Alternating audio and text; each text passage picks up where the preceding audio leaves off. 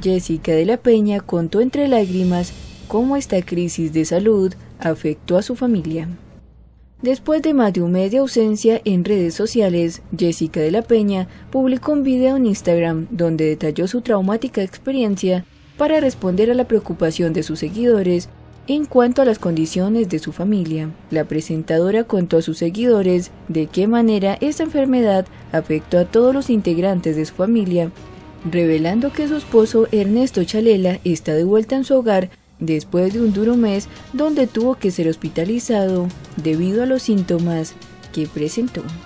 Jessica de la Peña explicó que sus hijos se encuentran en perfectas condiciones, pero su suegra aún se encuentra librando una batalla en contra del 19, una enfermedad que le cambia la vida a las familias cuando se hace presente.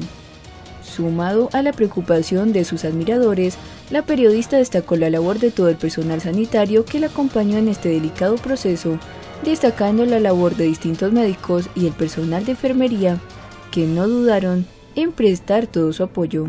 La figura mediática Jessica de la Peña manifestó que no sufrió síntomas fuertes cuando se enfermó y comentó en palabras propias, a mí no me dio nada, gracias a Dios, solo una tos, los niños están perfectos, a mi esposo le dio duro y mi suegra sigue dando la batalla por cosas adicionales.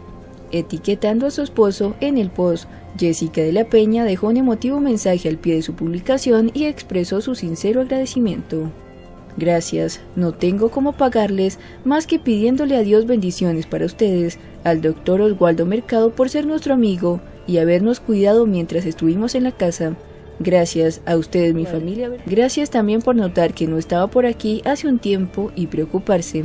A mis amigos y los amigos de mi familia que día a día me preguntan cómo estamos. Gracias. La tormenta sigue, pero soy una mujer de fe inquebrantable, extremadamente positiva y con una fortaleza inmensa que solo me la da el de arriba, que siempre piensa en que algún momento sale el sol.